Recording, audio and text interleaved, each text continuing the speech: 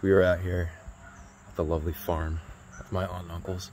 And this is my cousin Sam. And Sam, you are a black belt in Taekwondo Moo Duk Kwan. Taekwondo Moo Duk Kwan, which is very similar. It's cousin style to Tang Soo Do. You could argue they're even closer than that. We do pretty much all the same form sets, right?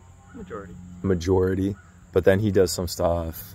What would you call your, are they Pumse? Uh, yeah, I think so. Yeah, okay. So he does some Pumse, he does some more like Taekwondo competition forms. Is that fair? Yep. Cool. And we're going to spar a little bit. And you spar according to what rule set? Olympic. But we can do a little bit more mixed because I personally hate the Olympic he hates it. Okay, so what would what would like more of a mix look like? Uh, not so much the restrictions of where you can hit. Mhm.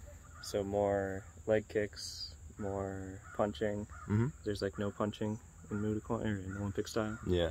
So Just for contrast, Sam is taller than I am.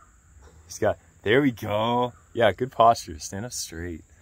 He has uh like a couple inches on me. So we'll see what happens.